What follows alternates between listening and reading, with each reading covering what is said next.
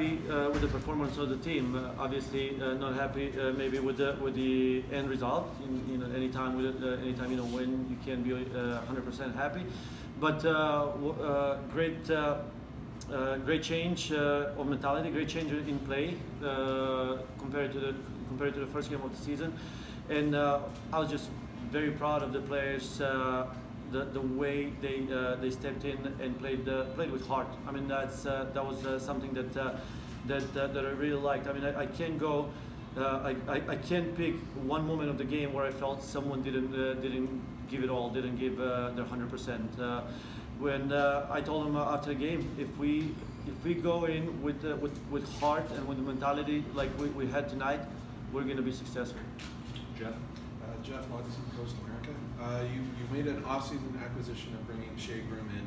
You'd had Shea previously in Kansas City. Tonight she got in and, and blocked the one um, clearance from Ashlyn. Can you comment about bringing Shea in and what her and Bethany and a couple of new players brought to the, pitch? Yes. Uh, first, with, with, with Shea, what you saw from Shea, that, that's, what, that's what you're going to see a lot. I mean, her intensity, her energy uh, is uh, contagious. I mean, she she's gonna get in, she's gonna block uh, clearances, she's gonna uh, dribble down, uh, get in people people's faces, she's gonna create opportunities, and she'll score goals too. Uh, you you can tell she's not quite at, at her best because her end product was not quite there, but she was still dangerous. Every time she got the ball, I felt like something was gonna happen. Uh, Andrew Hammond, uh, Tacoma News Tribune coach. Uh, no Darian Jenkins tonight. She was uh, she was scratched, but um, just kind of what's her uh, medical update? And I know Pinoe was, was also out. Yes, with uh, with Darian, if this was a playoff game, she would have played.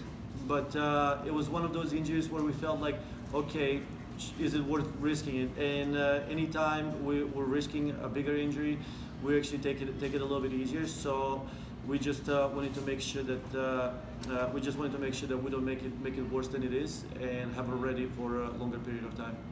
Awesome.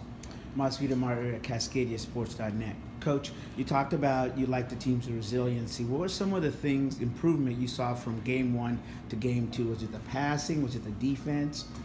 So, so first, I thought that uh, our uh, negative transition was uh, amazing. Uh, we we were able to uh, regain possession very quick, and even if we did not regain possession, we were able to get numbers behind the ball and deny opportunities for for the team.